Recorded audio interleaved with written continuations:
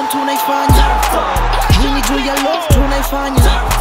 Hii ni juu ya loyalty to win tuwe royal tukilose bado ground tutasimama hii ni juu ya passion tunaifanya.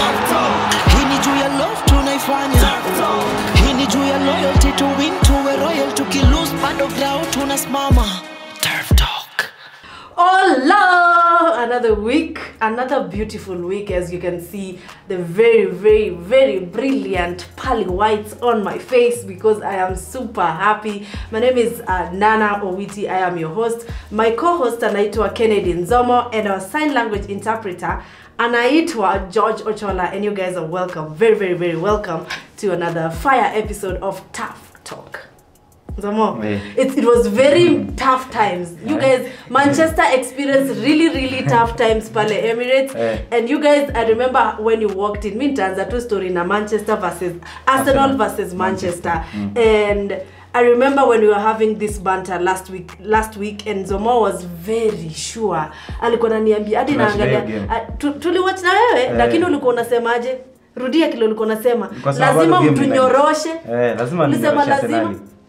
Na mli, mliweza Uh, mi sa according to me hiyo bao ya Ganacho imetutoa ilitutoa timing mbaya. Si tulikuwa tushajua tumeshinda game. goal si yenu mtajuaje au you can never say goal ati game imeisha kama ma- whistle Ni Manchester versus Arsenal. Hiyo ni game big. Tunaona. Tushafunga dakika 85. Tusha celebrate. Ganacho ashapiga ashapiga celebration ya Ronaldo. but that's where you Alafu unatuambia tena uko Offside. offside. Alafu But- Mhm. Arsenal saa kutufunga 90 plus ikakuwa tusha lose game. si na nikuulize si Tuka attack, tuka attack si wote. last season ilikuwa the same Eh, i remember season- aki akieka the third goal Eh, 90 ilikuwa plus. 90 plus Eh, but- so for us and i think arsenal that's where we we we, do, we never say die mi nakwambia arsenali kitu moja najuanga ni mpaka ref afinye hivi ablo hiyo wiso ndo tunajuanga game imeisha. ni vile mko Emirates but Old Trafford game itakuwa different sana. Samo, I promise. But- do you remember the last game also uh, we played with uh, Bournemouth uh, and uh, Reece Nelson scored the 90 winner plus 90 plus. Like see tuko na hiyo. We are the only team that does that. Number one Ah. team. It's true. Hata Ferguson time tulikuwa tunafanya hiyo ni 90 fagi time you forgot about it that's why we are talking and that's why kwanza me i have a beef with manchester fans yeah manchester fans mnakonga na issue moja you guys are always resting on your laurels laurels like nyi mnakuanga zile za because you can't compete in the present mm. you always bring, History. bring the history Ah, in the past. example that's what you do do. Si But- example kila mtu mlishinda mlishinda but sasa Old Trafford game itakuwa different. Niko sure Old Trafford niko very sure Old Trafford tutalipisha. This is what he said. Kwanza obienji. Obienji alikuwa anasema tuliwanyorosha nyonyinya nyenye wanyonyosha fisija tukawanyorosha two times in one game. So and when it mattered what happened? Hmm? Mlishinda Old Trafford itakuwa different. Somo tukubali. Arsenal si Sure, ile timu mmezoea mlishinda eh, okay. mlishinda but si ile timu pia mumezoea. Hapo ni Emirates Emirates obviously ilikuwa iko hard game kwa yetu but sasa tutakuja mtakuja Old Trafford mambo ni matatu. Odegat jesus na rice baby. Rice thank you for the spicy jollof rice. Our tummies are full and so are our eyes our hearts as well. We sijui utaambia nani? Ni rashford. Rashford pia ametuzoea. Eh, amefunga Arsenal unajua akiwa na kina Benoit pale anakwanga watoto wake. mm -hmm. Eh. just the same mlikuwa na Johnny Evans. Uliona kile alifanyikia? Alislide hadi saa hii bado ana glide kwa hiyo Emirates. Eh, oya oya Jesus please release this man Alidhani atashoot. So alikuwa anajituma tu. Alijituma ange- ange- alislide aliendanga Jesus na angeshoot, angeslide nayo nje but onana nayo angeonana nayo mpira it is what it is. It is what it is, Zomo. vitu zingine unakubali Eh, tu. ndio nimesema, eh, mlishinda. imagine a game aya let's talk about Jadon Sancho Jadon Sancho. Jadon yeah. Sancho akona drama na yo you know Ten Hag, Ten coach, Hag. eh. unaweza mwita Eric Sevenhag but Seven. this is the Jordan Sancho Eh. uh, Eric alisema ampei time because kuna ile quality. ile quality unafaa kukua kwa squad ndio uweke kwa starting lineup ama ukwe saba anasema hakufikia hiyo level. Alisema this is lakini Maguire alifikia Eh, Maguire eh, juu hatuna def- hatuna defense sahii. So mna- mna- mnaweka kama backup. But forwards unajua Manchester ni tumesaini wengi sahii. So I think Erik ten Hag alisema lazima ufikia certain quality Yeah. ndio akuchukue. But jana Sa- Sancho alitoa letter akaadress akasema yeye hiyo si issue but ako ready kufightia for the badge. So alisema it's like don't because i remember Eh, how it don't started. Don't believe everything you media, read. Eh, Eh. anything you read. But saa tujui kama ni ukweli hajafikia expectations ama but Sancho amekuwa na indisciplines juu tuliangalia Borussia pia ashai washaitoa akasema amechelewa training Man City pia England national team pia. sleeping problem. eh, sleeping problem alikuwa acheza kuna game inaitwa Call of Duty. Mm -hmm. inasemekana hiyo ndio alikuwa addicted nayo most of the times akiwa Borussia. Yeah. so hatujui kama ni Sancho kwa hivyo ama ni ona ama muonea kweli he's, eh, he's being truthful Eh, eh, ama pia anakona juu BVB pia walitoa England national team wakatoa. Na bado Manchester ndio hii pia imekuwa. Mm. eh, i thought ronaldo was the problem. Walisema hivyo but acha tuone itakuwaje. I'm just being mean.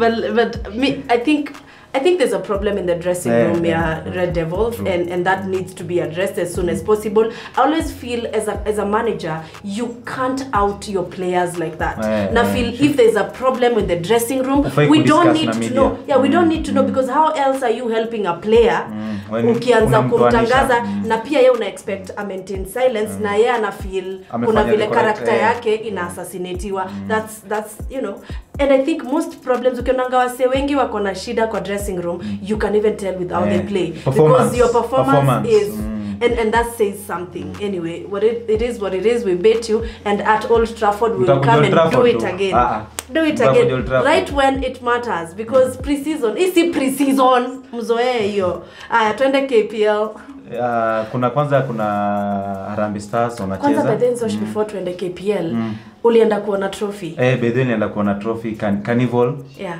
Eh, ilikuwa feeling fiti sana kuona kikombe hatujaona ikitukaa tunapiga 10 years sahii bana. Yeah. Ilikuwa fiti no hata kuiona live. Eh, like huko london but Eh, you're here. ilikuwa fiti sana ilikuwa nilifeel fiti kuona trophy for the first time.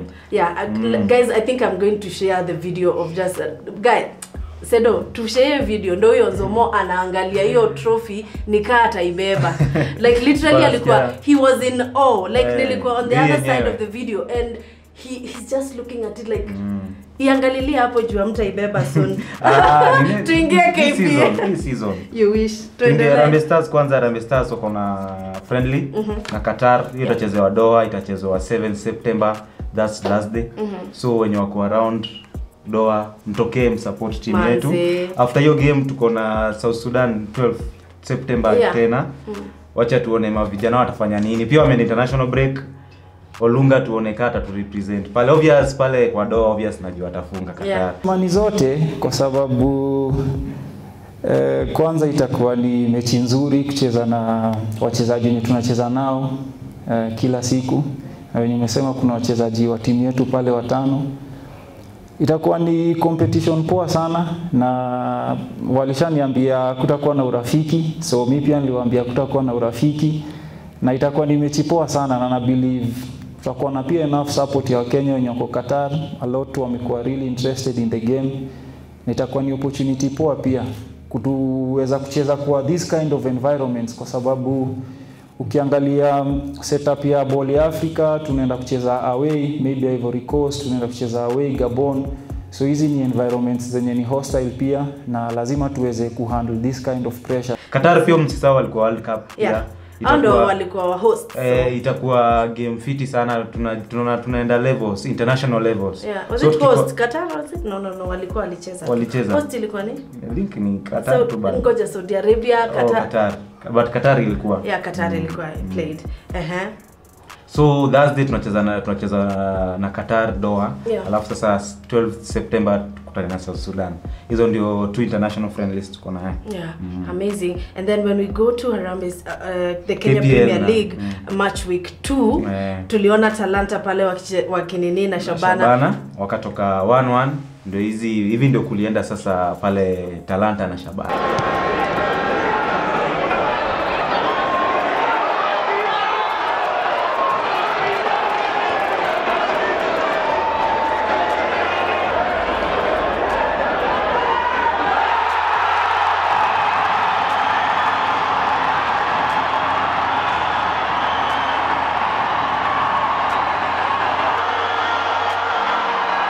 eh, lakini hii kpl mmedecide tu ni madro madro mtarokota tu draw. Guys we want goals. Tunataka kusikia hizo magol last weekend tumeona watu watatu wakibeba. Wacha watu watatu wakibeba hattrick son Oh, hatrick oh, EPL. yeah Eh, epl son EPL. anabeba hattrick ferguson, Ferguson Haaland, Haaland. Mm. as in all these games in, in like a day A day, zote. Mm.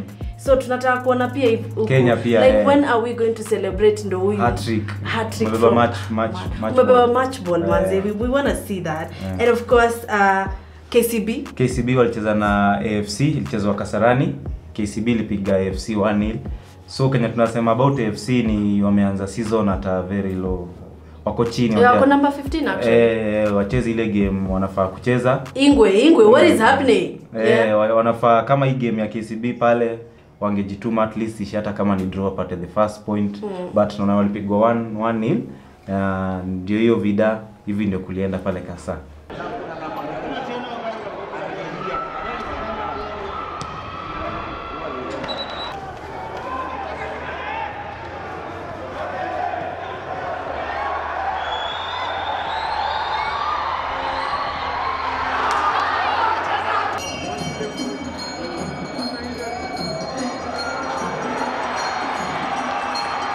ulinzi pale ulinzi complex langata walicheza na defending champions wenye ni gor.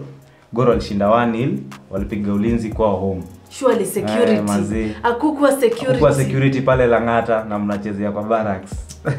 Haya hivi ndio kulienda pale langata gor wakashinda 1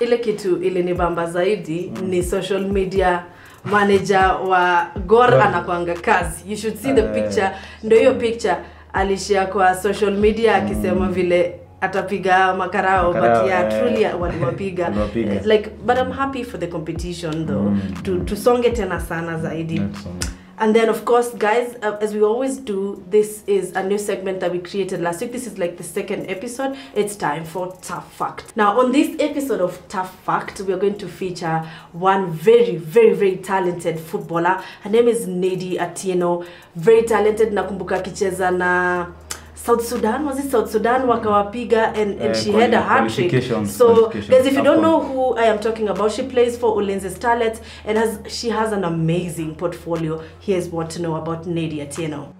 Nadia Atieno Okoth is a Kenyan footballer born on the 8th of July 1992. Nedi sharpened her trade as a forward for Ulinzi Starlets and the Kenya women's national team popularly known as the Harambee Starlets. Truly a starlet at heart. Having steered Ulinzi Starlets to clinching the inaugural Football Kenya Federation Women's Cup and Super Cup, Akoth decided to call it ups and hung her boots after a good stint in the Kenyan football soil. Nedi joined Ulinzi Starlets from Makolandas in 2017 and helped the team storm the Women Premier League in 2020. She had just made a return to the national women's team Harambee Starlets, helping them dispense South Sudan 15 to 1 in the first round of the Africa Women's Cup of Nations qualifiers. Another memorable piece in her accolade bag included the 2021 2022 season, where she was making her debut in the top tier league. Atieno guided the team to a third place finish in Zone A and were eliminated in the playoff quarters. They went on to beat three time league champions Vihiga Queens in the inaugural Women's Cup, which opened the chance to feature in that year's Super Cup. On November 11, 2021, Nedi was appointed by the then Sports Cabinet Secretary Amina Mohamed to be a part of a 15 member caretaker committee to run the Football Kenya Federation, chaired by retired Judge Aaron Ringera, which was later on dissolved after the FKF board was reinstated. Earlier on this year, Nedi was part of a fully KEFWA funded UEFA transition program that was held in Lusaka, Zambia. The program aims at enlightening footballers who want to retire about a second career and job opportunities that are there in football and outside of the field. As of now, Nedi is fully focused on fitness and nutrition at Allison Institution, where she's due to graduate this December and also is a player at Ulinzi Starlets. Wow, what a player! Yeah i'm so happy because i know ni best yetu hey, so ni best yetu. yeah, Wanavaa and- jezi ya Balotelli pale namba 45 manze mgongo, 45 eh. kwa mgongo pale kdf Mm. udem she is always a threat to finisher. any Finisher center back Mm. opposing center back udem achezangi and me kuna goal sita sita kumbuka sita sahau yeah. when they won the women's F- cup FKF the FKF, Cup, yeah, eh, the women's cup wakashinda 3-0. wakashinda 3-0 and walipiga a very good team, Team, you know yeah, so eh, to watch that and i hope there's a little video of that na kona celebration kali pia Uliona kwanza celebration ilikuwa tu- eh, kona celebration It- noma uh, sana Nedi, we love Eh, you, man. We eh. love you. So we're gonna go to the next segment of the show, and we are talking about what has been happening on the last day, deadline Transfer. day ya transfer. A lot happened. Mi nakumbuka I had FOMO Mm. just to see Fabrizio. Bro, nataka kuona Fabrizio anasema nini, but Eh. what shocked me the most was Ansu Fati's Ansu Fati, move. Brighton. Yeah, it's it's Mm. on loan. On loan Uh, Brighton from to Barcelona. Brighton from Barcelona. Mm. A very talented Player. um, player na feel lakini the first season alikuwa mnoma kidogo kidogo and then to injury ndio injury ndio ikafanya imefanya atoke pale alafu tunaona pale Yamal pia Barcelona. Hey, Yama- hey, Yamal. ako sawa He's So- 16. eh 16 anacheza first team ya Barcelona so Ansu anataka more playing time Yeah, so but they can't give him that eh, because right Yamal Yamal ni pure talent Yeah. kuliko Ansu.